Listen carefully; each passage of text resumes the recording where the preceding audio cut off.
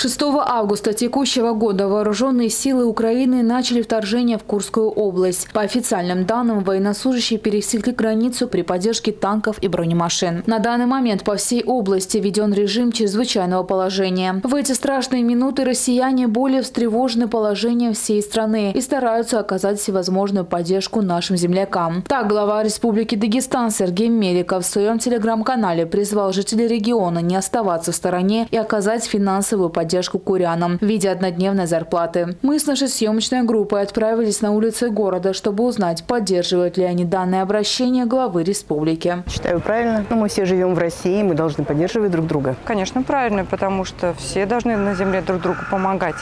Тем более в такой ситуации, которая коснулась как бы одну часть нашей страны, но все остальное тоже зависит от нас. Мы люди, это человеческий фактор, поэтому мы должны помогать друг другу. Да, я считаю, это правильное решение, полностью его поддерживаю. Я думаю, наш долг, как граждан одной большой страны, оказывать поддержку друг другу в трудной ситуации.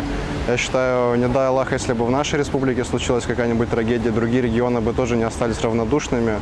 Поэтому и наш гражданский долг всячески оказать поддержку моральную, материальную. Напомним, что дагестанцы всегда отличались отзывчивостью, добротой и готовностью отдать последнее тем, кто в этом нуждается. И во времена ковида и с начала СВО нашим землякам не раз это доказывали, отметил Меликов. На сегодняшний день благотворительный фонд «Инсан» уже доставил первую партию гуманитарной помощи курянам. Формируются новые грузы с продуктами и товарами первой необходимости. Свой однодневный заработок также можно отправить в фонд «Все вместе».